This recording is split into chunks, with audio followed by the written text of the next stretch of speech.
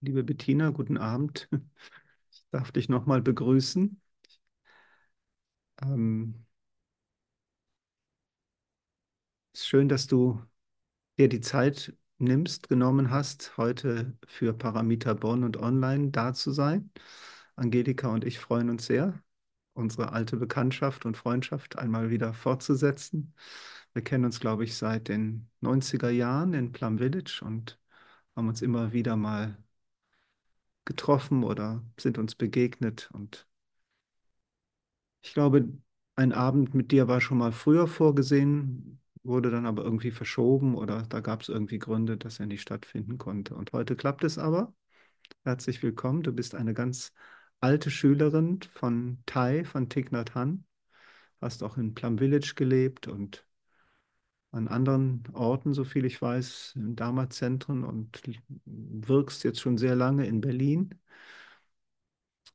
Ich weiß nicht, ob du dann selber noch ein bisschen daraus berichtest, aber mir fällt ein, dass du irgendwie in Berlin-Zehlendorf eine Gruppe hast oder eine Sangha und in, in, in der Quelle des Mitgefühls und dass du mit Gehmeditation in Berlin auch ab und zu was organisierst. Und ähm, heute ist dein Thema Jetzt ist jetzt. Die Unterzeile habe ich nicht ganz auswendig gelernt für die Anmoderation. Irgendwie Frieden. Du wirst sie gleich selber sagen, ja. Jetzt ist jetzt ist, glaube ich, der Haupttitel. Herzlich willkommen. Ich übergebe dir gern das Wort.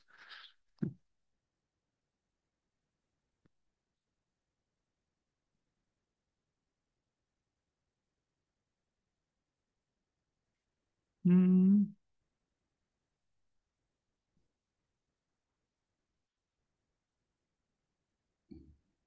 Jetzt dürftet ihr mich hören können. Ja, jetzt hören wir dich. Mhm. Gut.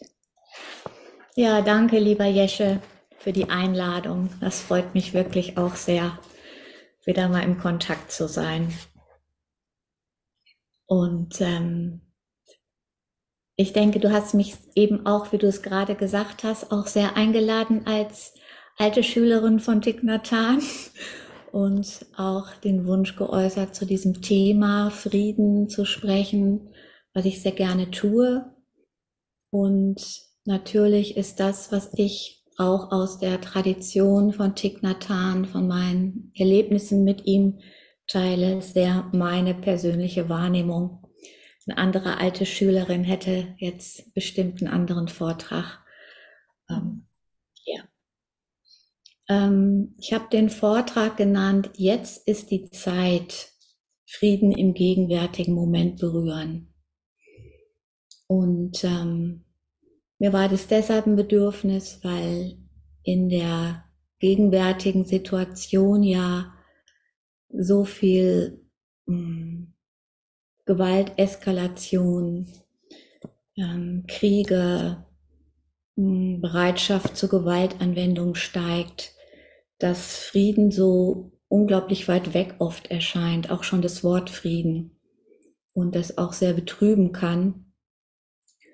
Und ich möchte gern diesen Vortrag ähm, über Frieden in dieser Art geben, dass ich über Frieden sprechen möchte als eine Qualität in, im Innern, die wir berühren können und die wir auch mit anderen Menschen leben können und dass sich aus dieser inneren Qualität Handlung und Form entwickeln können. Und es gibt natürlich viele verschiedene Bedeutungsebenen von Frieden, aber ich möchte so auf diese Ebene gehen. Und eben auch den Fokus darauf legen, dass wir Frieden wie alles andere immer nur in diesem Moment leben können. Wenn du ehrlich in Frieden zu leben wünschst, dann musst du gerade jetzt in Frieden sein.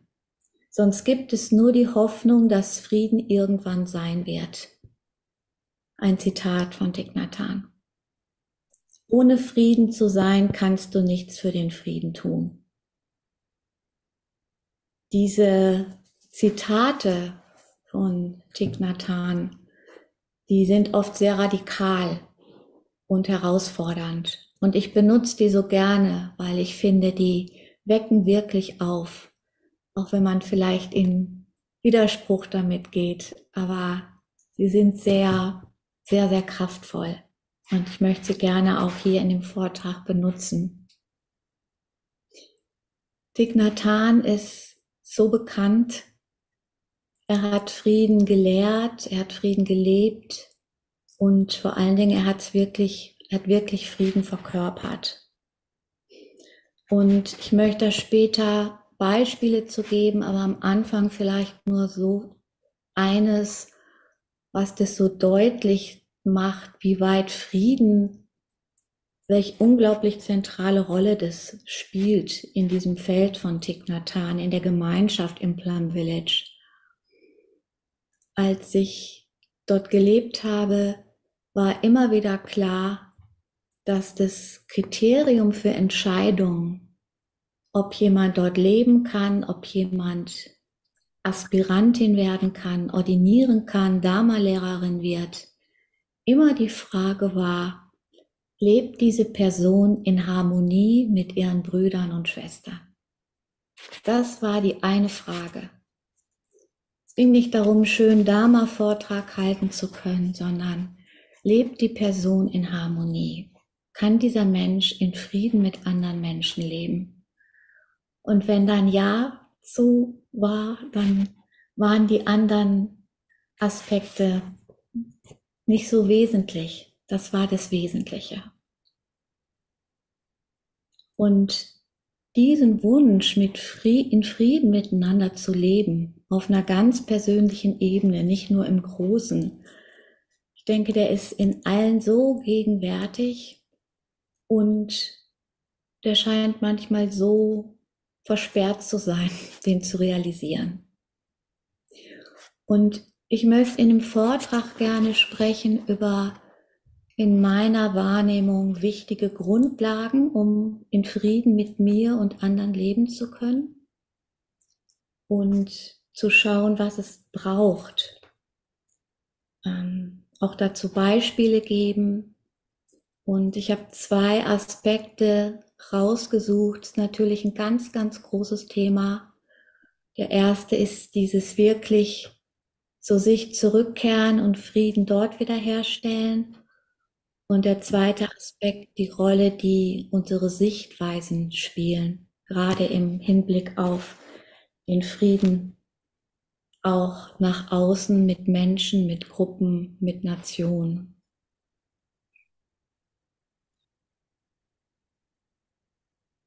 Die Praxis des Buddha ist die Kunst, Frieden zu sein. Das ist auch ein so wesentlicher Ansatz von Thich Nhat Hanh gewesen für all unsere Praxis.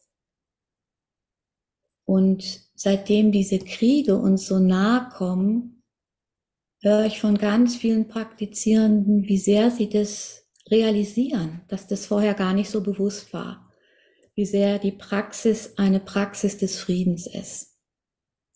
Und wenn mir das bewusst ist, dann kann ich dem auch viel mehr innerlich Raum geben und mich viel mehr darauf ausrichten. Und ich glaube, dass es ganz wichtig ist, diese Möglichkeit, Frieden zu berühren, mehr ins Bewusstsein zu bringen, dass das ganz, ganz wichtiger Prozess ist. Und als Praxis fangen wir sowieso ja immer bei uns selber an.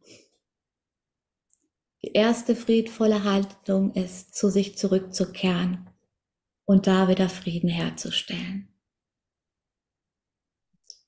Und es ist so klar, in unserem Geist sind Samen des Friedens und es sind Samen der Gewalt, des Krieges, die wir dann ausdrücken in unserem Denken, Sprechen, Handeln.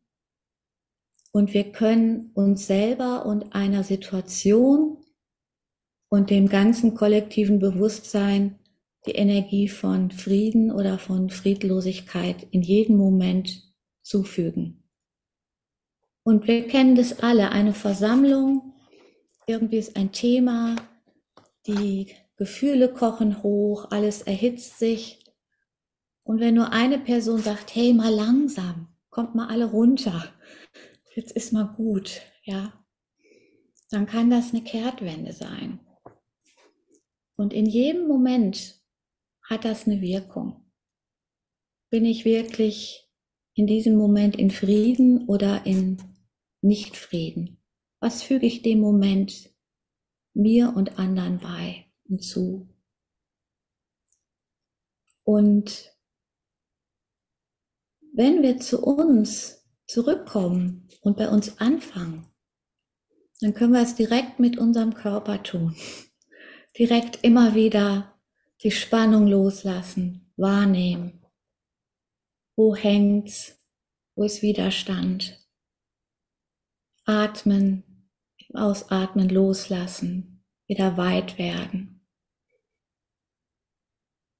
Und das im Körper wieder zu erleben, dass Frieden auch da ist, dass Frieden da ist in dem Wirken unseres Körpers, dass da so vieles in Harmonie wirkt. Das ist mir alles nicht bewusst. Selbst wenn ich irgendwo einen Schmerz habe, da wirkt so viel in Harmonie zusammen.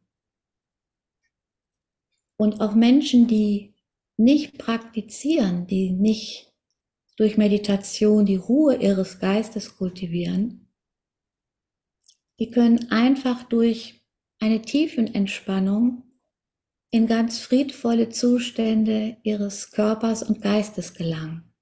Einfach indem sie für diese Zeit das, was sich alles draufpackt, loslassen können. Und die Tiefe von Frieden und Ruhe ist natürlich unterschiedlich. Aber Frieden ist in uns berührbar. Und genauso wie in unserem Körper auch in unserem Geist, mit unseren Gefühlen wieder, mit unseren Geisteszuständen. Wir können den Frieden in uns immer wieder herstellen. Und eben in diesem Ablauf, das war wunderbar, da war alles drin. Ich habe gedacht, das ist alles Friedenspraxis. Da war alles, alles aufgeführt. Metta. Tiefes Annehmen von dem, was da ist. Nicht weiter in den Kampf gehen. Annehmen, damit sein, in Frieden sein können, anerkennen und wieder loslassen. Und als Praktizierende tun wir das so viel. in der Meditation den Geist in Ruhe zu erfahren. In friedvollem Gewahrsein sein, egal was aufkommt. Angenehm, unangenehm, Schmerz, Freude. Annehmen, anerkennen, wieder loslassen. Und daraus diese Haltung zu entwickeln. Erstmal nur mit etwas da zu sein wenn es mir im Alltag entgegenfliegt, die vielen unangenehmen Situationen, die ich eigentlich nicht möchte. Gehe ich damit in Kampf oder kann ich das erstmal annehmen und dann schauen, wie ich damit umgehe? Wie reagiere ich auf das Leben vor mir?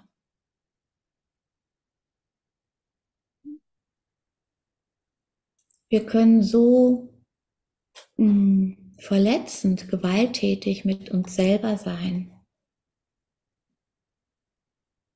Wenn wir mit uns und Dingen immer wieder in ganz starke Kämpfe gehen. Nathan hat das genannt, den zweiten Pfeil abschießen.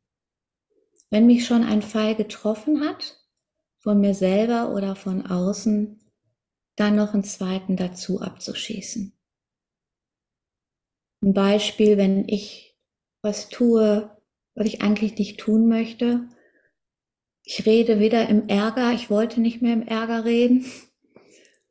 Ist schon ein Pfeil, den ich mir selber auch zufüge. Und der zweite Pfeil wäre, mich dann zu verurteilen. Du bist ein hoffnungsloser Fall und jetzt übst du schon so lange und es geht nicht. Oder von außen, wenn mich jemand ablehnt, eine Vorstellung, irgendwo eine Bewerbung. Ich fühle mich verletzt, abgelehnt. Und dann der zweite Pfeil, ja, ist ja kein Wunder. Und du und dies und jenes. Und immer wieder zu üben, einfach mit dem, was da ist, auf meinem Teller, in meinem Leben, damit friedvoll umzugehen, das sein zu lassen, nicht noch mehr draufzufügen, ein tiefes Annehmen. Das kann uns so, so lernen, auch in Frieden zu sein, wenn ein Problem da ist wenn was Ungelöstes da ist in meinem Leben. Ich kann trotzdem in Frieden sein damit. Wir können manche Dinge nicht lösen oder viele Dinge nicht lösen, nicht nur im globalen, auch im persönlichen. Wir können das Leben nicht kontrollieren. Aber ich kann immer wieder in den Frieden damit zurückfinden und dadurch das ganz anders erleben. Mhm.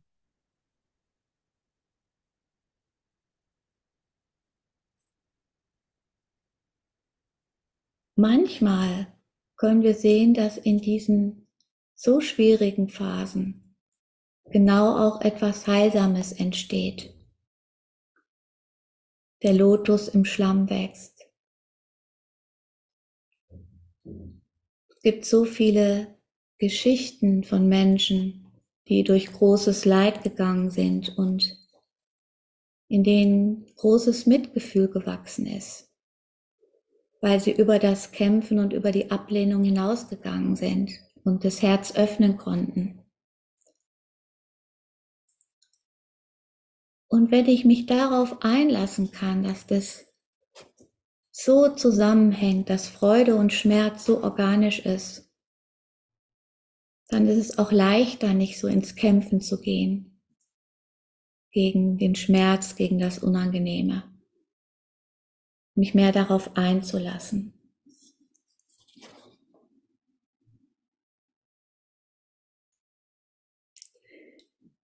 Und was neben dem Umgang mit dem Unerwünschten auch so wichtig ist, um weiter in Frieden sein zu können, ist auch die Freude zu nähren, das Heilsame, die Verbindung zu Schönheit, zu Dingen, die uns freuen, Wertschätzung, Dankbarkeit.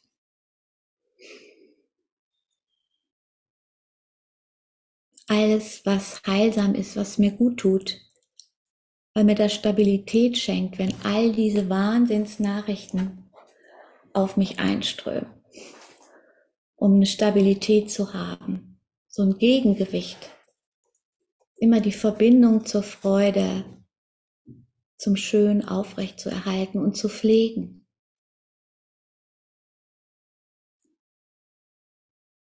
Weil mir das auch hilft, mich weiterhin darauf auszurichten, mich darin zu verankern und mich nicht von dem Dunklen, von dem Bedrohlichen überwältigen zu lassen. Und diese Verankerung da rein in dieses Heilsame, ins Nichtschaden, Metta, die große Freundlichkeit allem gegenüber, das Wohlwollen, nicht schaden wollen. Grundlage der Ethik, das kann uns so viel Kraft und Schutz geben, auch für den inneren Frieden, wenn ich damit verbunden bin. Ich muss nicht von dem Gewalttätigen, von dem Krieg, der um mich tobt, mit dem ich auch verbunden bin, überwältigt werden. Und wenn ich überwältigt bin im Alltag von all den Nachrichten und in mir vielleicht selber Wut, Hass, Verzweiflung, Angst, alles auftaucht, mich trotzdem wieder mit reinzunehmen. Möge ich in der Lage sein, auch in Putin den Menschen zu sehen. Möge ich in der Lage sein, auch Leiden in Menschen zu sehen, die sowas Schreckliches der Welt den Menschen antun. Möge ich mein Verstehen und mein Mitgefühl lebendig halten können in diesen Stürmen. Möge ich nicht rausfallen.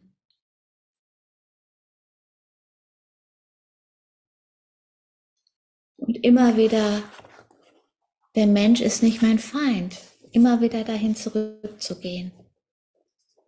Immer und immer wieder bei den scheußlichsten Nachrichten. Wie antworte ich darauf, wenn ich von den Gräueltaten lese?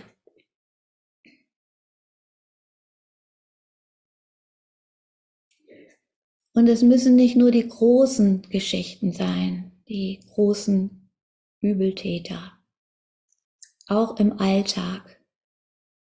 Wie leicht ist es, Feindseligkeit aufkommen zu lassen, wenn meine Interessen vielleicht nicht entsprochen wird.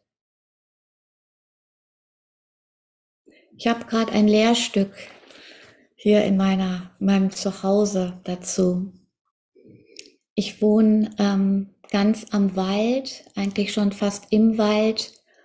Liebe das, mit den Bäumen, den Vögeln zu sein. Lebe den ganzen Sommer auf dem Balkon, arbeite da. Und dann ist vor einigen Wochen jemand über mir eingezogen in einem Haus, was Pappwände hat. Und die hat angefangen um halb sieben morgens Fernsehen anzumachen. Und das ging dann den ganzen Tag bis abends und war auch draußen zu hören, selbst in der Hängematte draußen. Und da konnte ich sehen, wie dieses Feindselige aufkam in mir. Und ich habe mir gesagt, Bettina, mach sie nicht zu deiner Feindin. Aber es hat nicht gereicht, es einmal zu sagen. Kommunikation war schwierig und immer wieder zu sehen, was für Gedanken kommen in mir auf, zu der Person. Und ich habe sehr damit geübt. Ich habe ja einen Brief geschrieben, habe ganz lange daran gesessen, bis ich den so schreiben konnte, dass ich wirklich nur von mir geschrieben habe und nicht über sie oder mit bestimmten Haltungen zu ihr. Und es, ich spüre, wenn es ums Ich, um mein geht, mein Raum, wie schnell da der andere als ein Feind ist ein großes Wort, aber nicht mehr als eine Person dasteht, die genau wie ich hier in Frieden leben möchte, mit anderen Ausrichtungen, mit Fernsehleidenschaften, aber einfach ein anderer Mensch, der auch so leben will. Und wie ich Menschen sehe als was, das ist so der Übergang zu dem zweiten Punkt heute Abend, den ich so wichtig empfinde. Hm, meine Sicht auf Menschen und meine Sicht aufs Leben, weil das so die Grundlage ist, wie ich antworte auf, auf das, was mir das Leben so auf den Teller legt.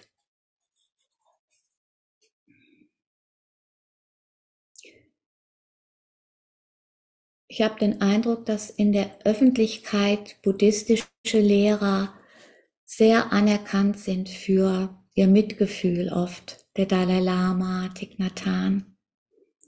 Aber dass eigentlich gar nicht so hm, viel darüber gesagt wird, was da gesagt wird, was für Sichtweisen dahinter liegen, die so die Grundlage sind. Und wie ich auf das Leben schaue, mit welchem Verständnis, das bestimmt so sehr, wie ich antworte. Ein Punkt ist, wenn ich das Leben ganz materialistisch funktional sehe, voller Zweckmäßigkeit, voller Gewinn und Verlust, oder wenn ich das Leben ansehe als was ganz Unfassbares, Kostbares, Wundervolles, dem ich mit Respekt und Ehrfurcht begegnen kann. Das lässt mich sehr anders auf Gewalt auch reagieren.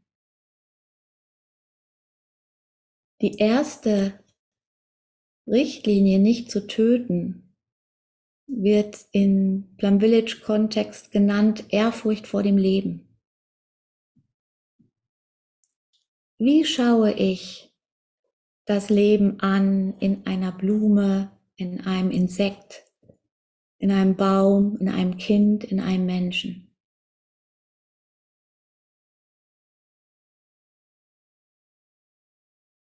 Die Einladung der Praxis ist, so präsent zu sein, so da zu sein, so wirklich im Kontakt zu sein, tief zu schauen, tief zu leben,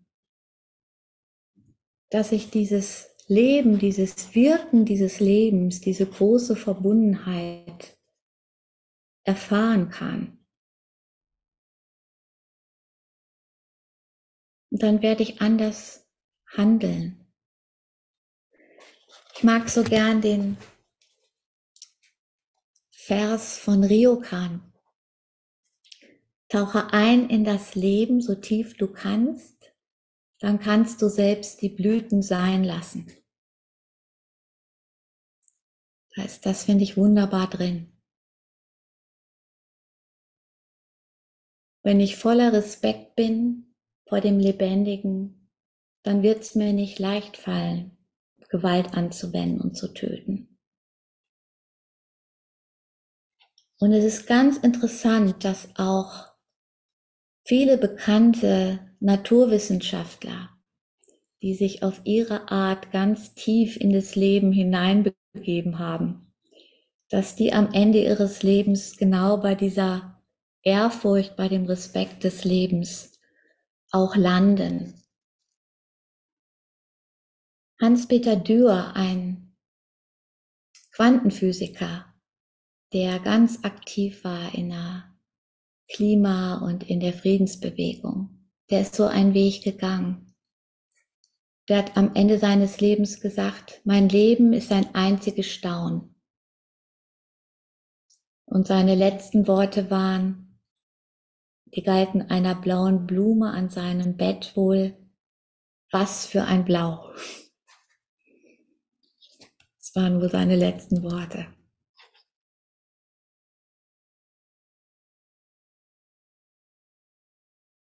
Wie schaue ich auf das Leben? Wie sehr öffne ich mich dafür? Und der zweite Aspekt der Sichtweise, die Sicht oder die Einsicht auf das Intersein, dass es so zentral in dem ganzen Feld von Thich Nhat Hanh. Er hat den Orden, den Intersein-Orden so genannt. Die Praxis bezieht sich auch in ganz alltäglichen Übungen darauf.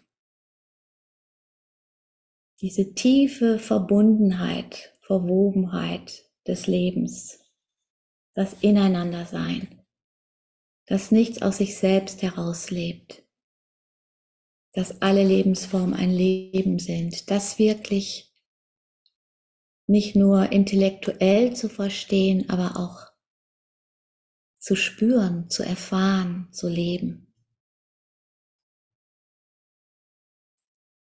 Und wen das vom buddhistischen Standpunkten aus interessiert, Erika Erber hat ein ganz tolles Buch geschrieben, Achtsamkeit und Intersein, wo sie so die ganzen theoretischen Grundlagen aufzieht, was da alles reinfließt in den Begriff von Intersein.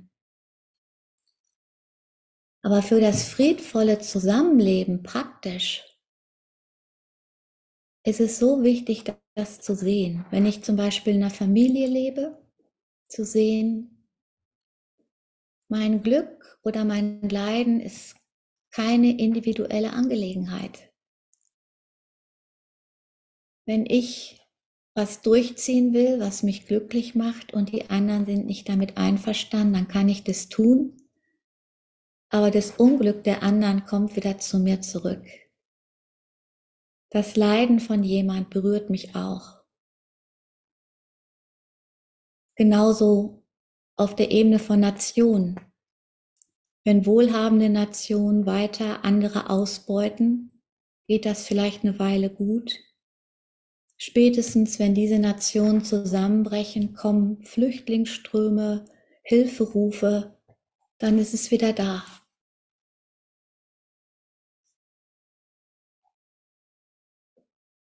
Diese Nicht-Trennung wirklich im Alltag, im Blick auf die Welt, sich dafür zu öffnen, ist in meinem Verständnis wirklich ein Schlüssel für friedvolles Zusammenleben.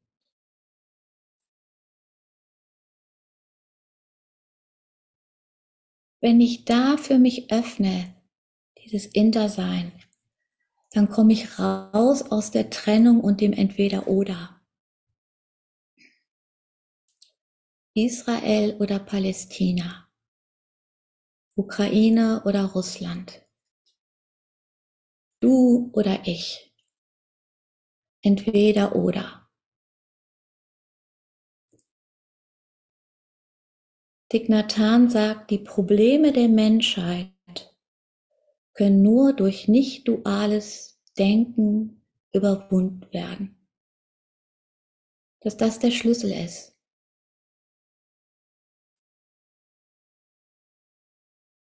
Dass wir sonst immer an der Oberfläche arbeiten.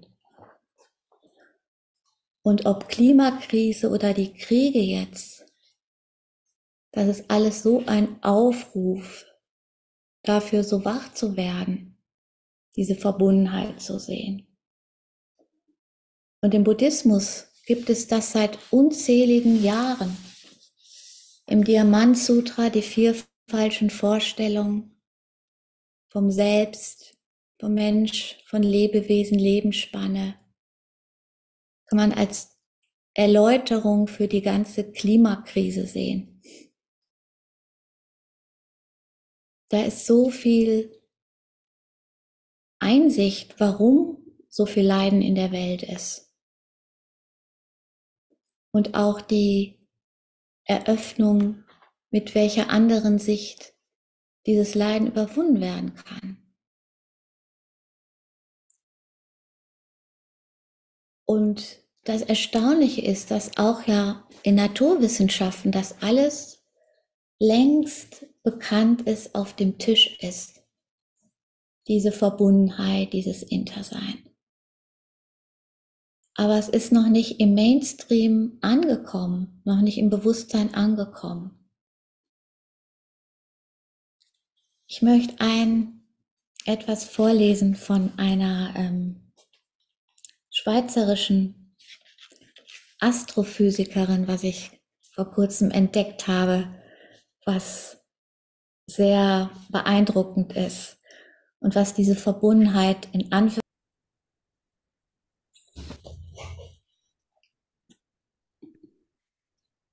So, dann fange ich bei dem Zitat an. Das ist von einer Astrophysikerin aus der Schweiz, Katrin Altweg, Professorin. Und sie beschreibt ähm, das menschliche Leben auf der Ebene von Atomen. Die Anzahl der Atome ist endlich. Sie werden ständig recycelt. Damit ist die Chance groß, dass die Atome, aus denen Sie und ich gebaut sind, auch schon Teil anderer Lebewesen gewesen sind. Natürlich nicht in der gleichen Konstellation, aber vielleicht haben sie Atome eines anderen Menschen, eines Baums oder eines Tiers in sich. Die Atome wurden in den Sternen gebildet. Sie sind Eiglichtsterne, die es nicht mehr gibt. Und dann ist die Frage, wie geht es dann, wenn sich unser Körper auflöst weiter? Unsere Atome werden erst einmal auf der Erde bleiben. Irgendwann werden sie von der Sonne absorbiert und dann schließlich ans Universum abgegeben. Und daraus entstehen vielleicht irgendwann wieder andere Sonnen, Planeten, Leben oder was auch immer.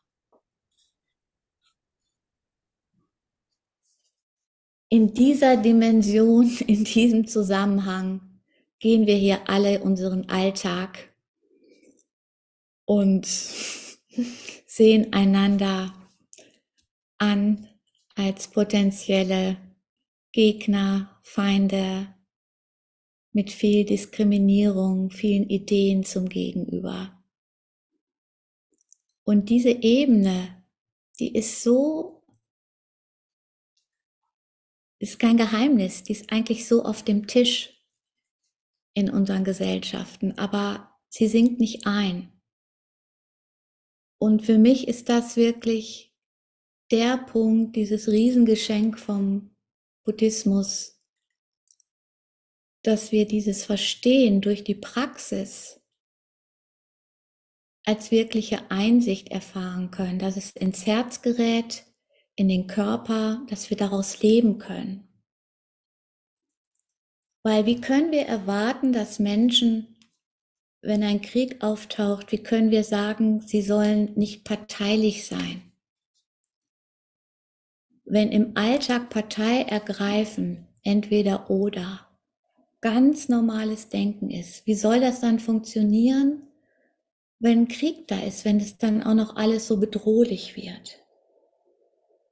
Diese Tendenz, Partei zu ergreifen, dieses Entweder-Oder-Denken ist so stark.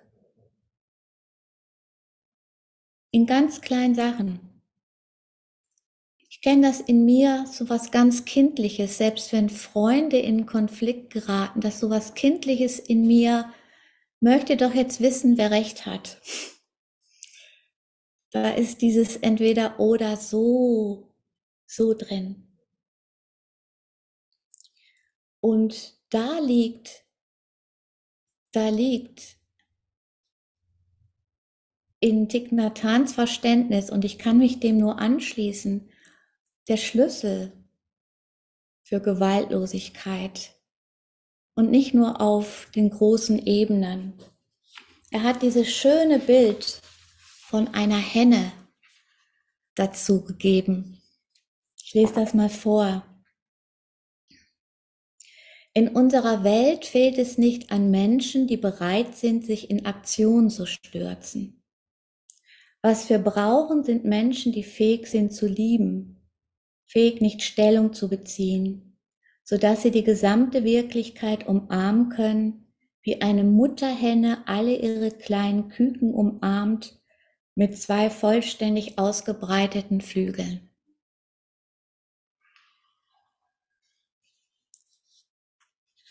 uns dafür zu öffnen im Alltag, in den kleinen Situationen. Es gibt ein wunderschönes Mantra, was Signatan uns gegeben hat, um unseren Geist dafür zu öffnen. Und zwar heißt das, Darling, you are partially right. Wenn mir jemand was sagt, wenn mich jemand lobt, zu sagen, okay, das mag sein und gleichzeitig, you're partially right. Ich habe auch ganz andere Seiten. Wenn mich jemand kritisiert, darling, you're partially right. Okay, das war jetzt nicht gut von mir und da sind auch noch ganz andere Seiten. Einen weiten Blick zu haben das ist so wesentlich, nicht in die Enge immer wieder zu gehen. Und mir zu vergegenwärtigen, dass meine Sicht, solange ich nicht ganz erwacht bin, immer sehr begrenzt ist und auch falsche Wahrnehmungen drin sind. Wie ich mit meiner Sicht umgehe, das hat so viel mit Krieg oder Frieden zu tun. Eine Idee und der Glaube daran, dass das die Wahrheit ist, kann zum Tod von, zum Morden von Millionen von Menschen führen. Das haben wir in Deutschland erlebt. Nur eine Idee. Das hat so eine Kraft. Im Großen, aber auch im Kleinen. Corona. sangen Familien, haben sich zerschlagen, sind auseinandergegangen, weil es unterschiedliche Ansichten gab.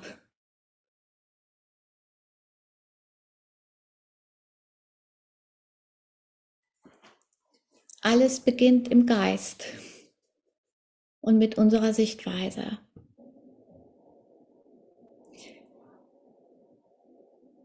Heute Abend, der Vortrag ist ja nicht so lang, deshalb möchte ich nicht so viel vorlesen, aber ich möchte es zumindest erwähnen, was eine wunderbare Übung dazu ist. Thich Nhat hat ja inmitten des Vietnamkriegs den Orden Intersein gegründet und die 14 Achtsamkeitsübungen dazu gegeben. Und die ersten, die fangen im Geist an. Offenheit des Geistes, nicht haften an Ansichten, Freiheit des Denkens. Damit immer wieder zu beginnen. Und ich kann mich darin üben, meine Ansicht als etwas anzubieten. Das ist jetzt das Beste, was ich anbieten kann. Soweit kann ich in die Materie reinschauen. Und da ist meine Erfahrung drin, mein Wissen, meine falschen Wahrnehmungen. Das kann ich jetzt anbieten und ich weiß, es ist begrenzt. Und ich weiß, deine Ansicht ist auch begrenzt. Wir müssen uns nicht streiten darum. Und das ist wirklich Friedensübung. Und einander zuzuhören und diesen Sichtweisen Raum zu geben, das nimmt so viel an Spannung aus schwierigen Themen. Es gibt dieses, dieses Beispiel immer, was gern genannt wird in Plum Village, wenn Tai eingeladen hatte zum Retreat für Palästinenser und Israelis, wo sie sich die ersten Tage nur zugehört haben und dann erst in Dialog gegangen sind. Und ich habe das in diesem Jahr das erste Mal selber erlebt, was das heißt, wenn wirklich in zwei Gruppen eine der anderen nur zuhört. Im Juni-Retreat, das ist so ein Retreat in Plum Village, wo viel alte Schüler kommen, Dharma-Lehrer, stand am Bord Deep Listening von Zusammenkunft von monastischen und Laien-Dharma-Lehrern. Keiner wusste, was es war. Sind wir da hingegangen, dann haben die monastischen Brüder und Schwestern gesagt, wir möchten euch jetzt eineinhalb Stunden nur zuhören, wie es euch geht, mit eurem Dharma-Lehrer-Dasein, mit der Gemeinschaft, mit den Monastisch, mit den Laien. Und sie haben uns nur zugehört. Und das war unglaublich. Eineinhalb Stunden.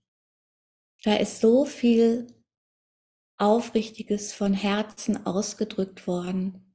Viel Liebe, Wertschätzung, aber auch ganz viel Leid. Mangel an Kommunikation. All das, was da ist ja, wenn Menschen zusammenleben. Und das war so tief, heilend, liebevoll, nährend. Es war wirklich so eines meiner Highlights, die ich jemals im Plum Village erlebt habe. Es war so ein ganz besonderer Moment. Und auf dieser Ebene da können wir so viel bewirken. Kommunikation, zuhören, liebevoll sprechen. Im Kleinen, im Großen. Und ich habe gesehen, Marie Mannschatz macht hier den nächsten Vortrag zu dem Kommunikation. Und es gibt so viele Formen, die helfen. Und ich glaube, es ist so wichtig, dass wir einfach kreativ sind. Dass wir das machen, wo wir merken, Kommunikation kommt wieder ins Fließen. Mit meinem Vater konnte ich zum Beispiel nur sprechen, wenn wir spazieren gegangen sind. Wir konnten nicht irgendwo sitzen. Da war kein Gespräch möglich. Wir mussten laufen dabei. Was geht? Einfach Kommunikation ins Fließen zu bringen. Ja, und ich weiß, wir sind jetzt schon ein bisschen später. Ich komme auch langsam zum Ende. Noch ein Aspekt. Hm. Dieses friedvoll Leben mit uns und miteinander, das können wir überall üben, wenn wir wirklich in Frieden leben wollen. In Familie, am Arbeitsplatz, und Sangha ist ein wunderbarer Ort dafür, weil wir da alle die gleiche Aspiration teilen und bereit sind, auch Konflikte zu nehmen, dass unser Verstehen wächst, unser Mitgefühl. Thich Nhat Hanh hat ja diesen Fokus auf Sangha, the beloved community, um Brüderlichkeit, Schwesterlichkeit wirklich zu leben. Und dieses Zusammenleben ist einfach für uns alle immer wieder ein Prüfstein.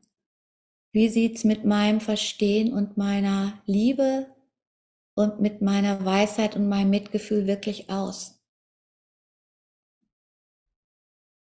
Und ich glaube, dass es so wichtig ist, dass wir Frieden als was sehen, was berührbar ist, dass wir eine Wahl haben, eine Möglichkeit, und das wieder stärker ins Bewusstsein zu bringen, dass das eine große Wirkung hat. Wer hätte gedacht, dass irgendwann im Mainstream ankommt, nicht rauchen? Ich hätte es mir nie vorstellen können. Es ist geschehen. Und ich glaube, Frieden kann auch einen ganz anderen Raum einnehmen, wenn wir es mehr ins Bewusstsein bringen.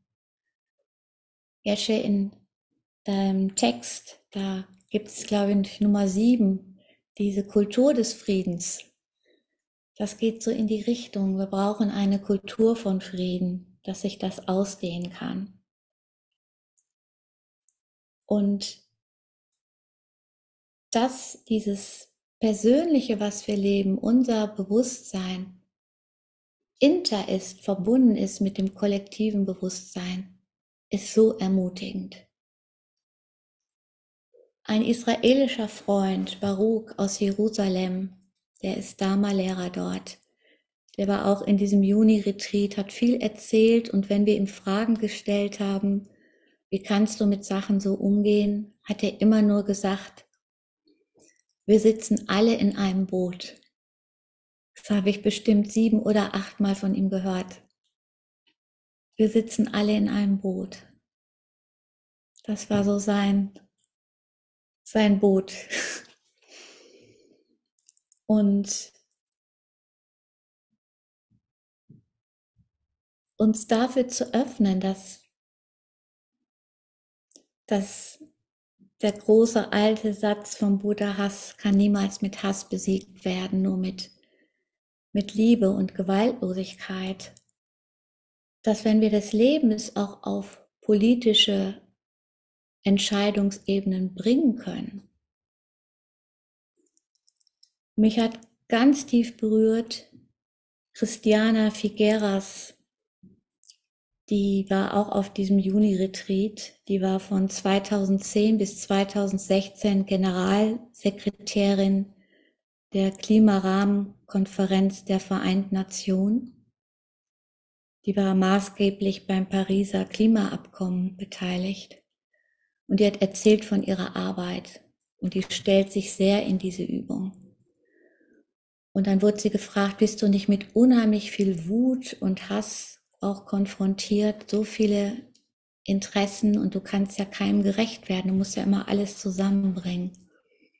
Dann hat sie gesagt, wenn mir jemand mit Wut entgegenkommt, dann nicht immer, aber häufig bin ich dankbar, dass die Person mir die Wut gegenüberbringt, weil ich muss nicht mit Wut antworten. Wenn die Wut woanders rauskommen würde, wird jemand vielleicht mit Wut auch reagieren und noch mehr Wut in die Welt bringen. Und ich übe mich darin, das nicht zu tun. Und auf so einer Ebene von politischer Handlung, das fand ich unglaublich äh, beeindruckend. Und sie hat es so gesagt, dass es klar war, sie sagt es nicht nur. Sie, sie lebt das auch, sie versucht das auch. ja, diesen Frieden in uns, der wirklich wirkt, dass wir eine Wahl haben, Moment für Moment, das ins Bewusstsein zu bringen, das wünsche ich uns, dass wir dazu beitragen können, alle. Danke für euer Zuhören und danke für die Geduld bei der Unterbrechung. Liebe Bettina, vielen Dank schon mal so weit. Es soll ja noch ein bisschen Zeit sein für Austausch, auch ähm, mit Teilnehmern aus unserer Runde hier. Noch läuft das Video. Ähm, ich hätte selber eine, eine Frage oder etwas, worauf ich dich gerne mal kurz ansprechen möchte. Ich weiß äh, aus einer früheren E-Mail-Korrespondenz, du warst genau wie ich äh, mal etwas überrascht und irritiert davon, dass es ein Video gibt, wo Thich Nhat Hanh die Gewaltfreiheit ein bisschen relativiert hat. Ich kann es jetzt nicht genau wiedergeben. Er wurde mal äh, in irgendeiner Gesprächsrunde, Frage- und Antwortrunde gefragt, ob man denn unter keinen Umständen äh, Gewalt anwenden könnte oder Verständnis dafür haben könnte, dass jemand Gewalt anwendet. Und dieses Video wurde relativ viel gepostet äh, vor einiger Zeit. Und dann sagten auch einige Leute, ja seht mal, selbst der Thai, der Thich Nhat Hanh, ist nicht unter allen Umständen für Gewaltfreiheit. Ich musste mich auch mit dem Argument oder mit diesen Fragen öfters auseinandersetzen, die dann gestellt wurden. Ich habe gesagt, nein, das, das habt ihr falsch verstanden. So hat er das äh, bestimmt nicht gemeint. Er hat, also kaum, kaum ein Lehrer war wie Thai so konsequent in seiner äh, Betonung auf Friedfertigkeit und Frieden. Wie, wie siehst du das? Äh, weißt du, wovon ich spreche und kannst dich auch daran erinnern? Ähm, ich kann mich nicht mehr genau erinnern, auf welche Situation das bezogen war, aber die Thematik ist natürlich ähm, klar. Es kommen ja immer wieder so, so Sachen. Und ähm, was ich weiß von Thich Nhat Hanh ist, dass er öfter gesagt hat, ähm, oftmals ist es nicht möglich, 100% gewaltlos zu leben, aber tu dein Allerbestes, und sei so gewaltlos, wie es geht. Er hat zum Beispiel auch nicht Leuten gesagt, ähm, die in irgendwelchen schwierigen ähm, Arbeitssituationen waren, die kritisch waren. Ja, ist es legitim? Atomforschung ähm, beim Militär. Er hat immer gesagt, du kannst auch beim Militär, du kannst auch in den Bereichen, kannst du Gewaltlosigkeit, Mitgefühl leben. Und es gab immer wieder auch Menschen im Umfeld, die das gezeigt haben. Eine Frau ist ganz bekannt, äh, Cheryl Maples, die war so ein bisschen so ein, so ein Repräsentant davon auch. Die war in Amerika ähm, Polizistin, ist leider durch einen Fahrradunfall gestorben. Und die hat sich unglaublich da reinbegeben, ähm, Mitgefühl, Liebe, Praxis, Kommunikation in das Polizeisystem in Amerika in, in einer Großstadt reinzubringen. Und war so ein Beispiel dafür, wie sie Leute verhaften kann, wie sie Leute in gewalttätigen Situationen begegnen kann. Vielleicht nicht immer ohne Gewalt, ohne körperliche, aber mit einem, mit dem kleinsten Maß an Gewalt. Und ich glaube, das hat Thich Nhat Hanh öfter gesagt. Ja. Mhm. Es geht nicht darum, zu Hause zu sitzen und nichts mehr zu machen und sich nicht zu bewegen, weil es könnte ja was passieren. Mhm. Ähm, oder dieses Beispiel, wenn wir Tee trinken, töten wir die Bakterien. Also, aber so, so viel Prozent wie möglich, auf jeden Fall. Das habe ich immer gehört von ihm. So. Also das kann ich so heute dazu sagen. Mhm. Vielen Dank, Bettina, für die Antwort. Dann schalte ich jetzt mal die Videoaufnahme ab, denn wenn Teilnehmer sprechen, das nehmen wir in der Regel nie auf und würden es auch nicht veröffentlichen. Vielen Dank schon mal.